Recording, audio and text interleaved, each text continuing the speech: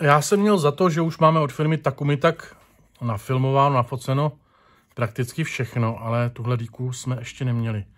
Naštěstí jsem se podíval, jestli je nebo není nafilmovaná, protože některé ty designy mě připadají dost podobný. Ačkoliv zrovna ty díky od Takumi tak stojí vždycky za prohlídku, protože málo která firma dělá takhle užitečný masivní díky jako právě Takumi tak. Krabička, standard, tu jsme si tady ukazovali xkrát. Pořád stejná. Pěkná, praktická, šikovná. A jak jsem říkal, podobně šikovná i ta díka.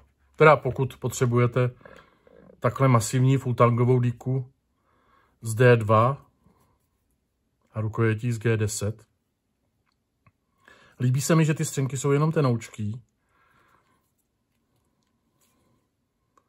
Jmenuje se Hitter, což mě překladač uh, přeložil jako zasahovač, to jméno, nebo ten Eh, to slovo v češtině v podstatě neznám, nepoužívám, zasahovač.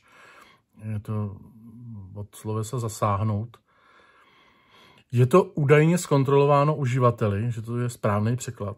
Ale já bych řekl, že to je spíš něco jako mm, zabiják, protože Hitman je uh, nájemný zabiják a asi z toho spíš to bude odvozený z toho, z toho spojení. No, nevím, jak to tam přesně je. Ono to bude nějaký něco přejatýho v té angličtině. Pro toho hitmana by se ta určitě uh, hodila. Ona má i trošku takovou tendenci vás nutit přemýšlet, s ní hodit, což bych ale asi nedělal, protože je do ostra vybroušená. Je asi eh, velmi robustní, pevná a pokud umíte nožem házet, tak ano. Je to D2, takže to je houženatá ocel. Přesto uh, bych nevrhal noži od jistý cenový relace, uh, pokud si nejsem jistý, že ho nezničím. Buď dobrý podmínky, to znamená třeba v lese někde, když to spadne na jehličí, a ne na beton, protože to je to okamžitě si zničíte špičku nebo ostří. Zcela zbytečný.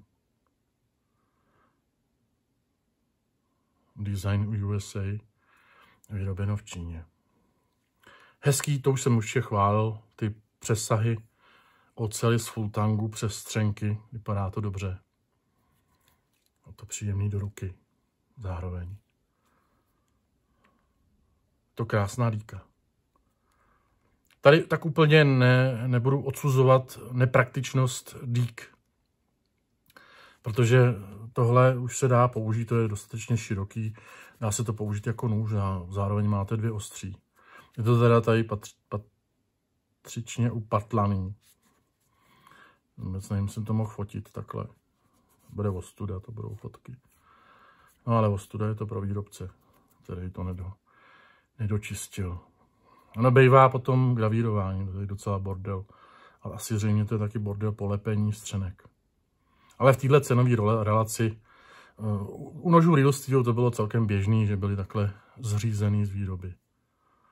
Takže se omlouvám. Ale hold prostě. Já to po výrobcích čistit nebudu. Já za to nejsem placený. Takže to je jejich ostuda. Jinak všechno v pořádku. Parádní kousek.